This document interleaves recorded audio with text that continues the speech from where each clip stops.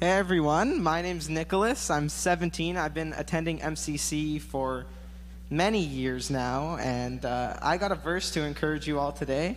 So the verse I have is Psalms 27 13 to 14. I remain confident in this I will see the goodness of the Lord in the land of the living. Wait for the Lord. Be strong and take heart and wait for the Lord. So, about like two years ago, I was talking with one of my friends, and he's like a pretty hardcore atheist. So we were just talking about kind of how like I was a Christian, and then he brought up this question where he said, "How do I know if the Bible is real? It could have been written by just a random person and discovered, and then, or a fake book for people to believe in. It could have been written by anyone." So when he asked this question at first, I was like kind of taken back. And at first glance, it may seem like he's just nitpicking Christianity.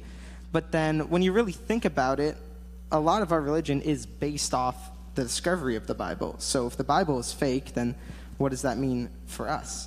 So because I kind of had to like respond pretty quickly to him, it actually made me think of it. It wasn't just like, oh, I have a doubt that just popped into my head and now I just brush it off.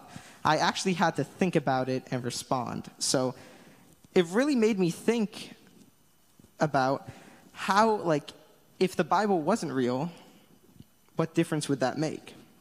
And I've pretty much come to the conclusion that if it is real, then all of this is for something. All of us here today, uh, all the volunteers coming here on Sunday, even like the whole worship team, everything is for a reason. If the Bible is real. But if it isn't real, we also don't even lose anything. Spending our time here doesn't really mean anything or bad because we're making connections with people, we're talking to new people we wouldn't have met before, and basically doing all of this means something no matter what. And it's just something really important to think about whenever you're kind of doubting.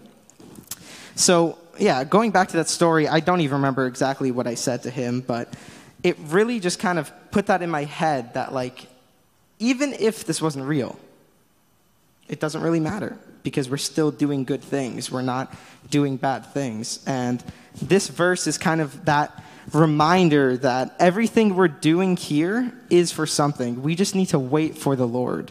So, yeah, I just like to leave that verse with you guys as an encouragement uh, to just wait for the Lord and remember that even if you get like these doubts, just think back to this verse and remember that this is all for something. So I'm just going to repeat the verse again. I remain confident in this. I will see the goodness of the Lord in the land of the living. Wait for the Lord, be strong, and take heart, and wait for the Lord. And yeah.